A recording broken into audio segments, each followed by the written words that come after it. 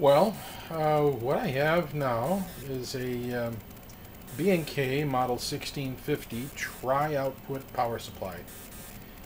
This is a nice bench power supply for uh, breadboarding, uh, in particular uh, transistor, semiconductor, digital, uh, linear, you know, analog kind of signal uh, chips and so on. Um, because of the voltages and the capabilities, this is uh, this provides two uh, independently controlled uh, power supplies, 0 to 25 volts adjustable. Um, you can track, you can make both A and B track together so that B will track A, so you adjust the voltage on A and B will follow. And uh, you have uh, fold back uh, voltage and current protection so if your current tries to exceed what you're capable of, then the voltage will fold back and and you'll uh, protect the circuit uh, and protect the uh, power supply. And then as a third voltage, you have a, um, a, steady 5 volt supply that provides up to 5 amperes of, uh, of current. So that would be usable for um, uh, TTL, ECL, any number of uh, different analog, you know, anything that could work off a 5 volt supply. 5 amps is more than adequate uh, for normal breadboarding. So, uh, at some point in time, uh, any experimenter is going to wind up needing uh, this kind of a supply. I actually have one myself on my bench. That's mine there, I use for my breadboarding. And uh, have used it for the last uh, year and a half. And this unit uh, is identical to it and is functioning well, and, uh, and, I'm happy to be able to offer it. I'm, I think at some point in time everybody needs one. Uh, the unit has been uh, has been reconditioned, uh, has been spray painted, looks very nice. Uh, no major blemishes on the front. Just normal usage. There's a little a little rub mark here not bad. Uh, actually looks very new, doesn't it? I think so. And then the side panels. And then I'll give you a look at the rear here. Try and take a look.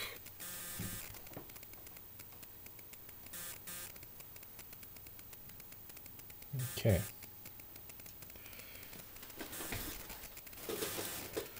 And what I've got rigged up for us right now, just to kind of demonstrate the supply, I have uh, a bank of 200 ohm 3 watt resistors. There's actually eight of them there. And uh, I can choose uh, to have four of them in parallel, which would take me to the maximum current reading of a half an amp on each one of the variable supplies. Or I can uh, double it to show that uh, it can handle it.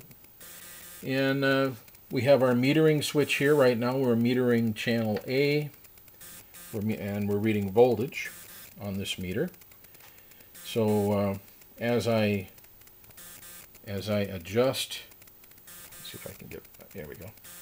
As I adjust channel A, I'll bring her up to, uh, say, 5 volts. That's 5 volts on the meter.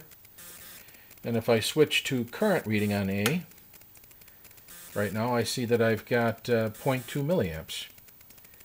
And uh, that would actually be right because I have a bank of eight 200 ohm resistors. And uh, that would give me um, uh, 25 ohms. Uh, four would be 50 and then two 250s in parallel would be 25. And 25 ohms and 5 volts over 25 ohms I'm going to get uh, 0.2 amps. Um, 5 volts divided by 25.2. Yes, thought I was right. And uh, as I increase my, uh, I'll go ahead and leave it on current. We'll increase the current to 0.3. There's 0.3. At 0.3, my uh, voltage should be um, uh, 25 divided by 0.3 would be uh,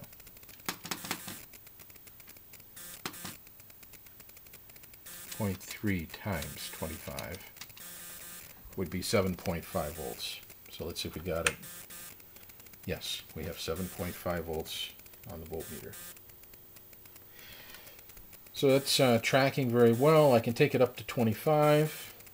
There's 25 there. Don't want to leave it there too long. And uh, if I had 0.5, which right now I'm reading 0.5 on my meter, uh,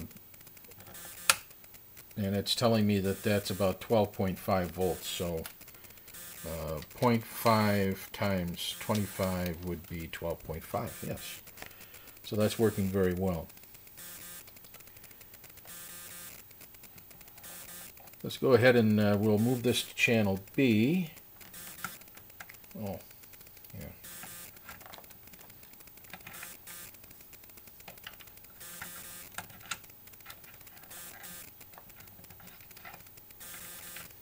We'll see if B is capable of doing the same thing.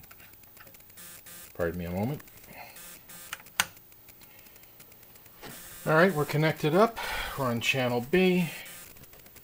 I'm reading voltage on channel B right now, and if I adjust channel B to give me 5 volts, that's 5 volts approximately there, then my current reading is 0.2 on channel B. If I go to um, 0.3, then my voltage is 7.5.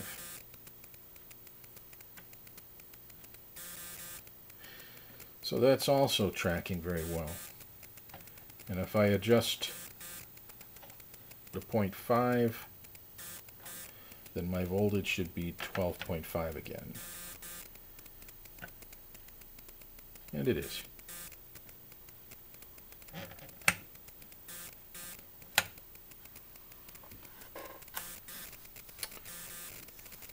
And uh,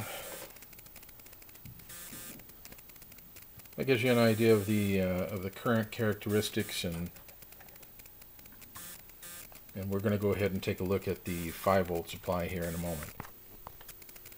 Alright, I've hooked a, uh, a voltmeter up, uh, a digital voltmeter, and I'm going to check the, the voltage coming out of the the different, the, both channels, channel A, B, and then uh, C for the 5 volts. And we're going to see what kind of uh, correlation we get to the analog, just uh, to show that the analog is reading accurately and that what we did earlier is valid. Right now I'm going to adjust the voltage on the analog until I see 5 volts. All right, there's 5. I'm reading 5.08 on the digital. Let's adjust to 10. Right, there's 10 and I'm getting 10.1.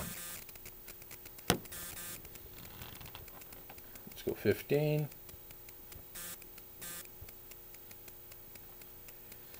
There's 15, and it appears to be 15.33. 20.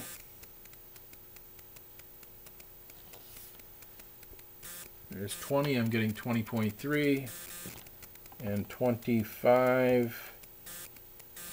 I'm getting 25.2. Not bad for an analog. Alright, let's take her to channel 2, or B. And we'll switch our meter to B. Okay, so now we are on B, and I'll be adjusting B's voltage. The meter now is reading B's voltage. So let's adjust the meter to 5 volts.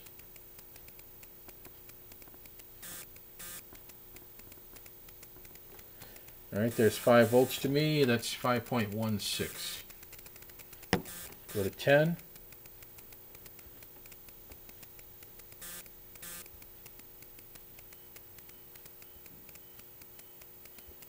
There's 10 volts. I'm getting 10.26.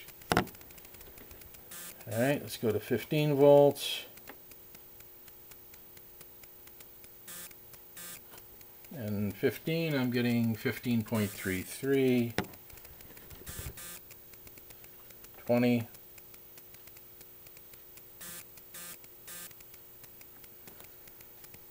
And I'm getting 20.18. 25. 25.2. So we're reading accurately to within two tenths of a volt uh, on both uh, scales. Let's go ahead and take a look at the 5 volts. Okay, we're immediately being told that we have a little bit over 5 volts. And uh,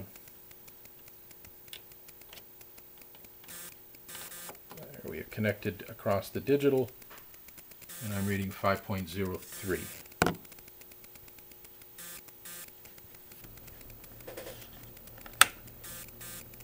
Five volts, 5.03 on the digital. So there you have it. We have an excellent looking uh, power supply and it's functioning well. Uh, I, it does come with a manual, a user manual. It comes with the, uh, the schematic diagram, comes with some calibration features on it, and, uh, and it explains all of the functionality. These, these uh, units can be handled independently. They can be caused to track one another. One could be set up as a positive supply, the other could be a negative supply. They can be paralleled uh, so that you wind up with twice as much current. Um, they explain that in the manual too. In some cases, they, uh, uh, or at least in one case, they did have you uh, throwing in some 0.1 ohm resistors for current limiting, but uh, but there's a lot of flexibility here with these three different power supplies in one. Excellent breadboard supply. Uh, recommend it highly, and good luck.